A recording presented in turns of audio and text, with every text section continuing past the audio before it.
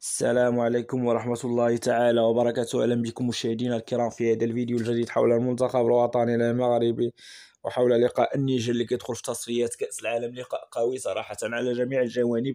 لقاء جد قوي عم نتكلم على أقوى تشكيلة المنتخب الوطني المغربي هذا اللقاء النيجر اللي يقدر يتقام لا ذهبا ولا إيابا في المغرب. آه، لقاء النيجر اللي هو لقاء قوي صراحة بين المنتخب الوطني ومنتخب النيجر. بزاف الناس يقولوا لك لا النيجر بلاد ضعيفة في الكرة. آه ضعيفة ولكن الآن ما بقاوش في كرة القدم. المهم أقوى تشكيلة في خط وسط الميدان غنمشي ممكن يبدل بعض الميكانيزمات ال coach الركراكي في هذا اللقاء النيجر ممكن يبدا بيحيى جبران لاعب فريق الوداد البيضاوي 32 سنة. لاعب صراحة محوري في فريق الوداد. في الفريق اللي صراحة ماشي محوري على مستوى أنه آه، ضروري خصو يكون جبران في الوداد ضروري. هناك أمين حارث لاعب مارسيليا الفرنسي. لاعب صراحة آه، قيمة كبيرة عنده في المنتخب صراحة ملي كيكون في, الجهد ديالو الكامل كيعطي الإضافة صراحة المنتخب الوطني المغربي أمين حارث لاعب اللي هو مزيان.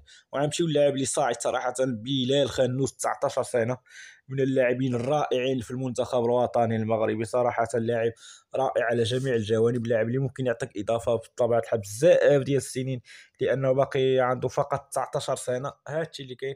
شكرا لكم و